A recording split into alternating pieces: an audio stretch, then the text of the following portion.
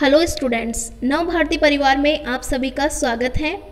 Previous class में हमने sound का चैप्टर स्टार्ट किया था, जिसमें हमने साउंड का ओरिजिन उसका प्रोपगेशन, ट्रांसमिशन और उसकी कुछ प्रॉपर्टीज़ के बारे में पढ़ा था। आज हम इसके बारे में क्या क्या पढ़ने वाले हैं। तो सबसे पहले हमारा टॉपिक है properties of sound waves sound waves की क्या क्या प्रॉपर्टीज़ होती हैं? तो फ़र्स्ट प्रॉपर्टी हमारे पास है इंटेंसिटी एंड लाउडनेस साउंड में क्या होती है? इंटेंसिटी और लाउंडनेस किस तरह से होती है? The quantitative description of the intensity of sound is determined by a sound level scale called the decibel scale sound की इंटेंसिटी हम किससे मेजर करते हैं? डेसिबल स्केल से.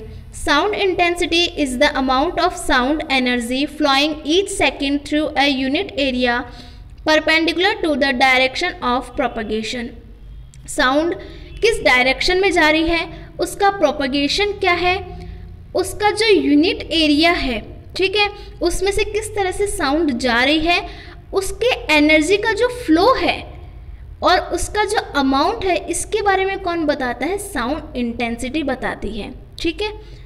तो sound intensity is the amount of sound energy flowing each second through a unit area perpendicular to the direction of propagation तो sound intensity क्या होती है? साउंड का वो अमाउंट होता है जो फ्लो करता है उस एरिया में ठीक है? जैसे यहाँ पे अलग अलग साउंड इंटेंसिटी दे रखी है कि जो आ, वेरी क्वाइट मतलब कि जो हमारे कानों के लिए सही होते हैं, वो थर्टी तक होती है साउंड थर्टी डेसिबल साउंड जो है, उसको हम डेसिबल में नापते हैं. और मॉडरेटली लाउड जब साउंड लाउड हो जाती है तो उसकी इंटेंसिटी 70 तक चली जाती है. और ज़्यादा लाउड होती है तो वो 80 तक पहुँच जाती है. और उससे भी बहुत ज़्यादा लाउड होती है, जैसे 120 तक पहुँच गई लेकिन 120 डेसिबल से जैसे ही ज़्यादा होगी, वो क्या होगा? हमारे ईयर्स को डैमेज करना स्टार्ट हो जाएगी, वो हमारे लिए पेनफुल हो जाएगी। तो इस तरह से हम इनको डेसिबल्स में नापते हैं इंटेंसिटी को। सेकंड है reflection of sound waves second property क्या है? कि साउंड वेव्स जो है, उसका रिफ्लेक्शन क्या होता है?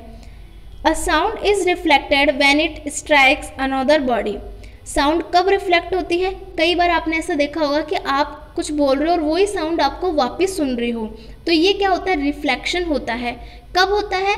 जब आपकी साउंड किसी बॉडी से टकराकर वापस आ जाए तो उसको बोलते हैं reflection of sound waves the reflected wave is called an echo और ये जो वेव है, जो वापस आ रही है टकराकर, उसको हम नाम देते हैं echo the reflecting surface has to be at least 70 meters away from the source in order of the echo to be distinct from the original sound ठीक है?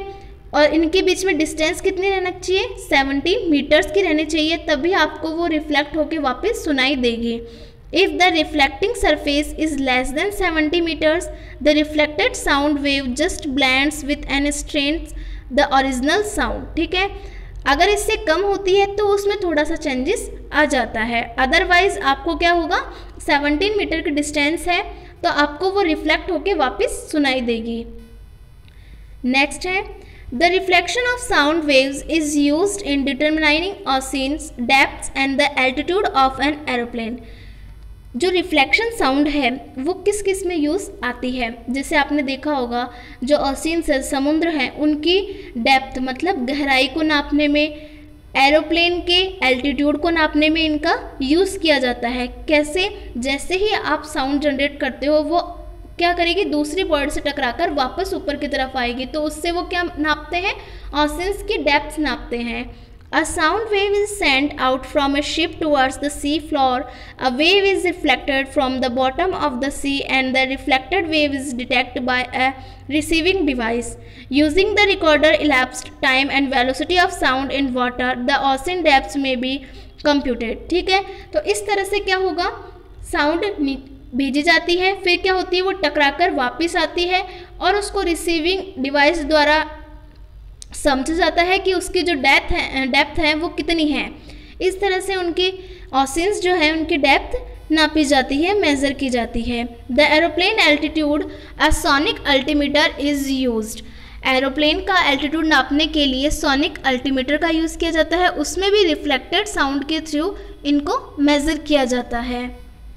नेक्स्ट है reflected waves can also causes annoyance to listeners echoes from smooth curved walls और ceiling can increases the intensity of sound in certain parts of the room. In some cases, the problem is due to reverberation, repeated echoes. क्या होगा जैसे कई बार ऐसा होता है कि sound जो है वो बहुत क्लियर सुनती है क्यों किस पर डिपेंड करता है कर्व्ड वॉल पर या सीलिंग कैन पर ये डिपेंड करता है कि आपका जो रूम है वो किस टाइप से बना हुआ है, उस पर भी साउंड जो है, उसके इकोज डिपेंड करते हैं। और कई बार ये इकोज जो है, वो रिवर्बेशन की प्रॉब्लम फेस करवा देते हैं। मतलब होता है रिपीटेड इकोज बार बार आवाज़ें सुनाई देने लग जाती है। नेक्स्ट है रिफ्रैक्शन ऑफ़ साउंड वेव्स अब हम बात करेंगे रिफ्रैक्शन ऑफ़ साउंड्स की. Like all types of waves sound also undergoes refraction when a change in a medium और change in a property of medium takes place जैसे और भी वेव्स हैं, वो रिफ्रैक्ट्स होती है, वैसे ही साउंड वेव्स भी रिफ्रैक्ट्स होती है, जब वो एक मीडियम से दूसरे मीडियम में जाती हैं। ठीक है? तो यहाँ पे दे रखा है, जैसे कूलर टू वार्मर जा रही है। तो कूल में तो क्या होगी? Sound travel slower. जब कूलर एरिया है तो उसमें साउंड जो है, वो स्लोली स्लोली वेव करेगी या ट्रेवल करेगी, ठीक है? वहीं वार्मर एरिया जो है, उसमें साउंड ट्रेवल्स फास्टर, ठीक है? साउंड जो है, वो फास्टली ट्रेवल करेगी वार्मर एरिया में। ये क्या होता है? ये डे में होता है और नाइट में क्या होता है? जब वार्मर एरिया है, उसमें साउंड जो है, वो फास्ट तरीके से ट्रेवल करेगी और साउंड स्लोली कहाँ मूव करेगी कूलर एरिया में। ठीक है? नेक्स्ट है on a clear sunny day the earth surface is hot This causes the temperature of the air just above the surface of the earth to rise. The temperature of the lower layer of air is higher than the layer above. Hence, sound should be traveling faster near the surface of the earth. This difference in the speed causes the refraction of sound waves away from the surface. और ऐसा क्यों होता है क्योंकि जैसे sunny day होता है मतलब जिस दिन धूप ज़्यादा होती है उस दिन जो अर्थ का सरफेस है, वो बहुत गर्म हो जाता है। और इससे क्या होगा?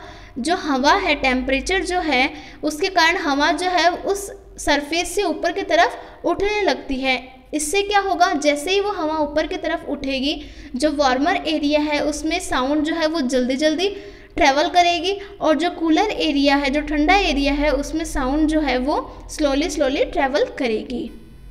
नेक्स्ट है On a clear night, the layer of earth nearer the earth's surface gets cold faster, hence the lower layer of air is colder. As a result, sound travels faster at the higher layer than at all lower layer is refracted towards the earth's surface. और night में क्या होता है जो अर्थ की layer है lower layer जो है, सबसे निचली सतह जो होती है, वो जल्दी से ठंडी होना स्टार्ट कर देती है। यही रीज़न है कि रात में क्या होगा साउंड ज़्यादा स्लोली ट्रैवल करती है, ठीक है? और जो वार्मर डे होगा, उसमें क्या होगा साउंड जो है, वो फास्टली ट्रैवल करेगी। The sound travelling with air in the same direction is bend towards the earth surface next दे रखा है the sound travelling against the moving air is bend away from the earth surface यहाँ पे दो difference दे रखे हैं कि जब sound same direction में चल रही है एयर के, तब क्या होगी? वो अर्थ सरफेस की तरफ़ बैंड होगी, ठीक है? और जब अपोजिट साइड में चल रही है मतलब साउंड और एयर जो है दोनों अपोजिट साइड में है तो वो ऊपर की तरफ़ उठेगी सरफेस से ऊपर की तरफ़ उठ जाएगी। तो आज की क्लास में हम इतना ही रखते हैं। नेक्स्ट क्लास में हम इसकी और प्रॉपर्टीज़ पढ़ेंगे और हम इनके बारे में कुछ और भी फैक्ट्स जानेंगे। Thank you have a nice day